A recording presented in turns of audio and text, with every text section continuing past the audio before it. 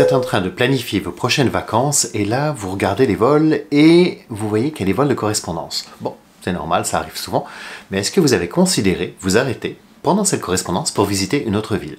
Aujourd'hui, on va essayer de voir un petit peu comment on pourrait aménager vos vacances différemment. Soyez les bienvenus à bord. Quand vous réservez un billet d'avion, un facteur qui est très important pour la plupart des passagers, c'est le prix. Et bien souvent, ben, les billets les moins chers vont vous faire arrêter une fois ou deux fois en route, dépendamment de où vous allez, surtout si vous faites, du long courrier. Et euh, cette, euh, ce concept de s'arrêter en escale est quelque chose qui peut être intéressant parce que pour un prix similaire, vous pourriez éventuellement vous arrêter et visiter une ville supplémentaire, donc euh, rajouter un pays ou une ville dans votre longue liste de pays que vous avez parcouru. Si on se rencontre pour la première fois, soyez les bienvenus sur ma chaîne. Mon nom est Victor, je suis chef de cabine pour une compagnie aérienne. La chaîne c'est Victor Voyage, c'est le même nom sur Instagram d'ailleurs. Euh, et on parle toutes les semaines de conseils sur comment voyager dans les meilleures conditions. Mais je vous parle également sur certaines vidéos de vie des hôtesses de l'air, des stewards, des PNC, des agents de bord, tout ça. C'est le même nom. Et un peu comment se passe notre vie lorsque est à bord, quelle est notre formation, comment est-ce qu'on gère un avion, comment on gère des passagers. Toutes ces choses-là, j'essaie de les. Donc vous avez des playlists qui vont vous aider à préparer votre voyage, qui vont vous aider le jour de votre départ et aussi qui expliquent un petit peu la sécurité à bord, euh, le travail des hôtesses de l'air, des stewards, des PNC, et également vous avez des histoires de passagers où je vous présente certaines des situations les plus cocasses qui me sont arrivées euh, sur mes vols. Donc si ce genre de sujet vous intéresse, ben, abonnez-vous, comme ça vous ne manquez aucune vidéo, il y en a une chaque semaine, c'est gratuit, vous avez juste appuyé sur le petit bouton rouge, vous pouvez également activer la cloche et puis mettre un pouce vers le haut si le sujet d'aujourd'hui est quelque chose qui pourrait vous intéresser. Juste avant de commencer, euh, je voulais vous indiquer qu'à la fin de la vidéo, je vais vous donner une petite mise à jour sur les eSIM. Juste avant de partir en vacances, je vous avais expliqué que j'allais essayer ce nouveau concept, enfin c'est nouveau pour moi, euh, des, euh, des eSIM, donc pour éviter les frais d'itinérance de mon opérateur téléphonique et pouvoir être joignable et utiliser la musique, la vidéo, etc. à l'étranger sans avoir à payer une fortune. Donc je vous donnerai une petite mise à jour à la fin de la vidéo parce que c'est pas le but principal de la vidéo aujourd'hui. Alors, s'arrêter en route, c'est quelque chose auquel on n'a pas toujours pensé, ça m'est arrivé plusieurs fois. Alors, pour schématiser un petit peu, imaginez, vous faites un vol entre euh, Paris et Sydney, en Australie, mais euh, il n'y a pas de vol direct, bien que maintenant il y a un vol Londres-Sydney, mais en tout cas, il n'y en a pas au départ de Paris, donc vous devez vous arrêter quelque part, et par exemple, vous volez avec Emirates, vous vous arrêtez à Dubaï. Ben, peut-être, vous pourriez prendre l'occasion de visiter cette ville, euh, c'est quand même assez intéressant, et puis on n'a pas tous les jours l'occasion d'aller voir une grande ville comme ça construite dans le désert. Autre cas de figure, vous vous en allez à Los Angeles, mais le vol le moins cher passe par Atlanta, vous voyagez sûrement avec Delta dans ce cas-là, et eh bien pourquoi ne pas vous arrêter euh, pendant quelques heures euh, à Atlanta et aller visiter un petit peu la ville? Donc euh, on va voir un petit peu comment ça se passe et quels sont les conseils et les choses à éviter aussi. Donc vous n'allez pas réserver euh, deux vols, vous allez demander au site internet de faire un vol entre Paris et Los Angeles et dans la liste des vols qui vous sont proposés, vous voyez qu'il y a une escale à Atlanta. Mais le site web va vous indiquer le prix de Paris à Los Angeles. Ce n'est pas un Paris-Atlanta plus un Atlanta-Los Angeles, c'est un prix global. Et donc euh, vous avez le droit à cette escale il faut savoir qu'en général, euh, votre escale peut aller jusqu'à 23h59 minutes. Si vous passez la barre des 24 heures, c'est considéré comme deux vols séparés, ce n'est plus une escale et donc bah, vous allez avoir des frais supplémentaires. En fait, là, le système va calculer deux vols et les additionner tous les deux. Mais si vous avez un transfert qui va jusqu'à 23h59, dans la plupart des cas, il y a encore quelques exceptions, mais dans la plupart des cas, dans ce cas-là, il n'y aura pas d'incidence sur le prix. Donc, autant en profiter. Pour trouver ce genre de choses, donc si la ville d'Atlanta par exemple est quelque chose qui peut vous intéresser, le, site internet va sûrement vous donner la meilleure correspondance pour que vous passiez le moins de temps possible à Atlanta. Mais si vous redemandez le même vol, mais cette fois-ci vous demandez un vol multitronçon, multisecteur, il y, a, il y a plusieurs noms pour la même chose, mais multidestination, donc vous demandez un Paris-Atlanta, départ je sais pas moi par exemple le 1er août, et ensuite vous demandez un Atlanta-Los Angeles, départ le 2 août. Mais vous vous assurez à ce que votre escale passe moins de 24 heures à Atlanta, et dans ce cas-là normalement le prix devrait être consolidé où il y aura un léger frais supplémentaire, mais normalement ça ne devrait pas être trop, important. je vais vous raconter quelque chose que j'ai fait il y a quelques années. À l'époque, j'habitais encore à Montréal et je m'en allais à Paris. Et j'ai magasiné en ligne et je voyais que les prix de Montréal-Paris étaient beaucoup plus élevés avec Air Canada que faire un New York, Montréal, Montréal-Paris le vol Montréal-Paris le même, mais euh, il y avait au moins 40% de moins cher si je partais de New York. En fait, tout simplement, Air Canada essayait d'attraper euh, le, plus de passagers possible au départ du marché américain et les faire transiter par Montréal. Alors je me suis dit, bah, pourquoi pas ne pas descendre à New York avant? Donc j'ai acheté un billet, un aller simple, Montréal-New York, qui n'est pas trop trop cher, et puis bah, j'ai pu passer, euh, dans ce cas-là, moi j'ai passé une journée et une nuit à New York, et le lendemain je suis arrivé à l'aéroport de New York, et je suis parti vers Montréal et vers Paris. Tout ça m'a coûté moins cher que si j'avais fait le vol direct. Donc c'est légèrement différent comme exemple que ce que je vous avais donné au départ, mais c'est aussi quelque chose qui est possible. Alors attention par contre, ne pas sauter aucun vol. Si je m'étais présenté directement à l'aéroport de Montréal en disant non, non, finalement j'ai pas fait le premier vol de New York à Montréal, dans ce cas-là mon billet aurait été invalide. Si vous ne vous présentez pas pour un de vos vols, automatiquement le reste de votre réservation s'annule automatiquement, et si les billets n'étaient pas remboursables, eh bien euh, vous l'avez dans le baba comme on dit. Donc euh, ne faites très attention à ce genre de choses, mais moi je me suis bien présenté, j'ai acheté séparément mon vol pour New York, et le lendemain je me suis présenté à l'aéroport de Newark, et je suis parti vers Montréal. Je fais coucou en transit euh, à la maison pour juste, je crois, deux heures, et après je continuais vers Paris, et donc ça m'a rajouté une petite escale supplémentaire en route, et ça tombait bien parce que j'avais des amis à voir à New York.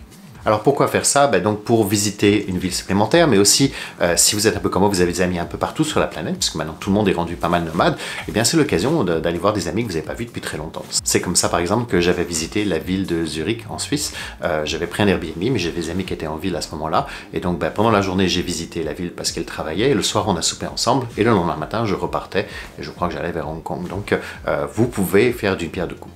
Alors évidemment, il va y avoir quelques frais parce que vous allez devoir payer un hébergement que vous n'aviez pas si vous aviez une bonne correspondance entre 2 et 3 heures à votre escale de transfert. Donc euh, lorsque vous allez euh, magasiner pour un hébergement, un Airbnb ou un hôtel, si vous avez pris un hôtel, je vous conseille de prendre un hôtel souvent près de l'aéroport. Comme ça, euh, vous allez pouvoir relaxer avant de prendre votre deuxième vol et vous n'aurez pas à courir et stresser, repartir dans centre-ville une deuxième fois pour vous rendre à l'aéroport. Donc regardez les navettes qui existent entre votre hôtel et l'aéroport, mais aussi la desserte entre l'aéroport et le centre-ville. certains aéroports parfois peuvent être éloigné du centre-ville, donc est-ce que vous n'allez pas perdre des heures et des heures dans le transport? Sur beaucoup de villes, vous avez des navettes ou des trains ou des autobus, etc. Donc regardez les options qui sont disponibles pour pouvoir euh, aller euh, visiter votre ville d'escale, sachant que vous avez un temps qui est quand même assez limité.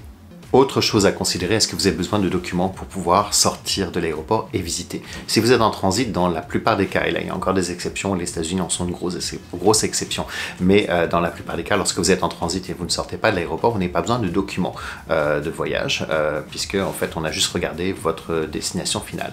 Si par exemple vous faites un Paris, Montréal, Chicago, et que vous décidez de passer 23h59 à Montréal, vous allez devoir donc sortir de l'aéroport et donc entrer légalement au Canada, alors que si vous étiez en transit pour les États-Unis, vous n'entrez pas au Canada. Vous n'avez pas besoin d'avoir ce TESTA canadien, c'est un nom un peu différent, mais un document qui vous permet de pouvoir rentrer légalement au Canada. Donc regardez, pour vous aider, euh, je vais vous mettre le lien dans la barre d'infos, il existe un site de IATA, qui est la, une association des transporteurs aériens, euh, qui vous permet de rentrer votre escale de départ, escale de transit, escale d'arrivée. Vous mettez votre passeport, euh, quel pays a émis votre passeport, vos dates de voyage, et puis ben, en fonction de ça, il va vous dire si vous avez des documents qui sont requis. C'est le même système qu'utilisent les compagnies aériennes et beaucoup d'agents de voyage pour justement avoir cette information, sauf que là c'est une version web qui est complètement gratuite. Donc je vais vous mettre le lien dans la barre d'infos. Un autre petit avantage de cette escale en route, c'est que ça réduit souvent votre fatigue. Euh, si vous avez à faire deux longs vols, euh, par exemple, je reprends mon exemple, vous rendez en Australie, vous arrêtez à Dubaï, euh, ces deux très longs vols, eh bien au moins vous faites un break, vous avez l'occasion d'aller pouvoir sortir de l'aéroport, vous allez pouvoir prendre une douche, aller dans un hôtel, éventuellement aller nager. Lorsque j'ai commencé mes vacances, qui viennent de se terminer il y a deux jours, je partais d'ici, donc je suis quelque part dans le Pacifique. Euh, j'allais à New York, je me suis arrêté à Los Angeles. Et eh bien, à Los Angeles, bon, je ne suis pas passé 24 heures, j'avais d'autres choses à faire, mais euh, j'avais euh, fait en sorte d'avoir une escale de 12 heures. Et donc, je m'étais réservé un hôtel près de l'aéroport de Lax. et c'était un petit hôtel, mais au moins, j'avais l'occasion de pouvoir prendre l'air. J'ai pu aller manger quelque chose qui n'est pas de la bouffe d'aéroport. lorsque je suis arrivé à l'hôtel, j'ai pris une douche. il y avait une piscine, donc j'ai été me baigner un petit peu. J'ai profité du soleil après avoir passé euh, plus de 12 heures dans un tube en métal et avant de repasser encore 5, eh bien ça m'a fait un bon break. Euh, plusieurs fois aussi j'ai fait la même chose, j'ai allé à Manhattan Beach euh, et puis bah, qui est pas très très loin de l'aéroport de Lax et puis en plus je me, non seulement je marchais sur la plage, j'allais manger, je prenais l'air et en plus je me réservais un massage qui n'est pas très très loin et après je repartais à l'aéroport je faisais mon dernier vol. Donc j'arrive le lendemain beaucoup plus frais et dispo plutôt qu'avoir les deux vols directement dans le corps. Alors voilà, c'est juste quelque chose pour vous pour considérer. Euh, je vous ai donné quelques conseils. Si vous avez des doutes, vous pouvez aussi toujours passer par un agent de voyage qui peut vous aider à organiser ce genre de choses. Mais euh, c'est une bonne idée. Et puis ben, honnêtement, moi j'ai pu voir comme ça quelques amis que je n'ai pas l'occasion de voir souvent faire la surprise. Je dis j'arrive, est-ce que tu attends de me voir juste pour le temps d'un repas? Ça peut être juste un lunch, mais au moins on peut passer un petit peu de temps ensemble ou aller explorer une autre ville que vous n'auriez pas eu l'occasion forcément de voir. Alors, mise à jour sur les eSIM. Donc, les eSIM, qu'est-ce que c'est si vous n'avez pas vu la première vidéo? Donc, dans mon téléphone, et je pense, je peux me tromper, mais je pense que ça ne fonctionne que pour les iPhones. Euh, mais regardez le site internet, je vous mets le lien dans la barre d'infos, la compagnie que j'utilise qui s'appelle AirHallo. Donc, euh, en tout cas, ça fonctionne pour l'iPhone. Donc, dans votre téléphone, euh, vous avez une carte SIM, cette petite puce, et la SIM, en fait, c'est votre ligne de téléphone. Elle vous est donnée par votre opérateur téléphonique. Donc, bah, si vous changez de SIM, vous changez de numéro de téléphone. donc, vous avez une SIM, mais il existe ce qu'on appelle les eSIM. Les eSIM, ce sont des SIM euh, digitales fictives en fait, qui va être installées dans la mémoire du téléphone et qui va être une deuxième ligne, tout simplement. Donc vous pouvez comme ça installer une deuxième ligne. Il y a des gens qui l'utilisent, par exemple, ils ont leur euh, téléphone privé et puis ils ont une eSIM pour leur ligne professionnelle. Et donc à chaque fois qu'ils appellent, ils choisissent quelle ligne ils vont utiliser. Ils appellent le même destinataire, mais ça leur dit est-ce que tu veux appeler en tant que Victor travail ou en tant que Victor personnel? Bon, c'est le même principe.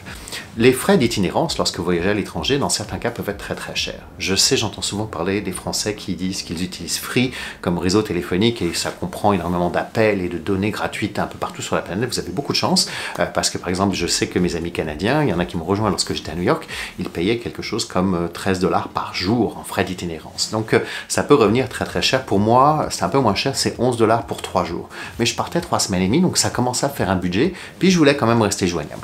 Donc, j'ai considéré ces eSIM, j'ai dit je vais l'essayer pour la première fois. Mon itinéraire était États-Unis, Antilles, États-Unis, Canada. Donc euh, j'ai changé plusieurs fois de pays et euh, j'ai décidé, j'ai regardé en ligne et euh, il y avait des bons commentaires sur l'application qui s'appelle AirHallo. Donc pareil, je vous mets le lien dans la barre d'infos. J'ai installé l'application et voilà comment ça fonctionne. Vous décidez où est-ce que vous allez aller. Donc vous avez une liste de pays et puis vous allez voir en fonction de ce que vous avez besoin, le nombre de données et puis bah, la durée de validité de ces données. Et puis si vous regardez bien le détail, vous allez voir également sur quel réseau téléphonique vous allez être utilisé. Donc lorsque vous avez fait votre choix, vous achetez votre eSIM, vous payez directement sur l'application par carte de crédit et elle est prête à être installée. Donc euh, pour l'installer, vous l'installez au moment où vous allez arriver dans le pays. Il faut que vous soyez connecté au moins à la Wi-Fi. Donc souvent dans les aéroports, vous avez la Wi-Fi. Euh, et puis bah, vous l'installez. C'est très très simple. Ça a l'air un peu compliqué, mais honnêtement, c'est vraiment très facile.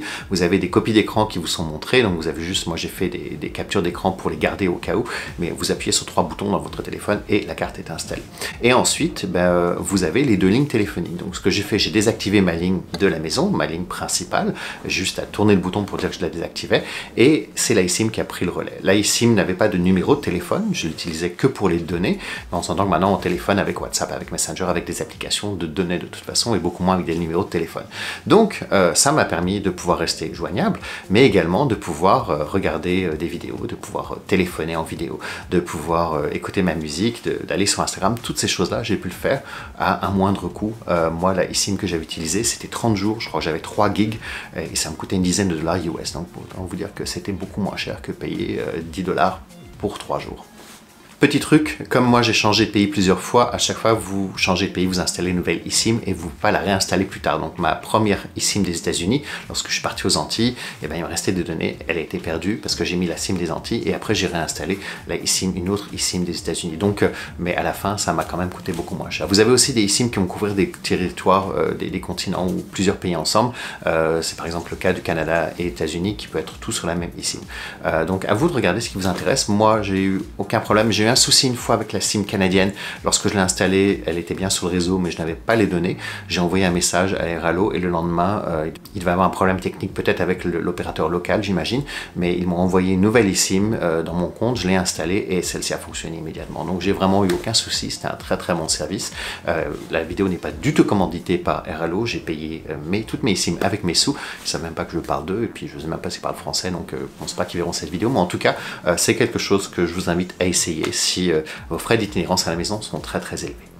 Voilà, la vidéo commence à être un petit peu longue, donc on va s'arrêter là. J'espère qu'elle vous a plu. N'hésitez pas, une fois de plus, à mettre un pouce vers le haut, à vous abonner. On se retrouve la semaine prochaine. Et en attendant, n'hésitez pas, vous pouvez mettre vos commentaires sur les, euh, les escales que vous avez pu visiter comme ça, ou les ici dans les commentaires de la vidéo. Et puis on se retrouve la semaine prochaine. Salut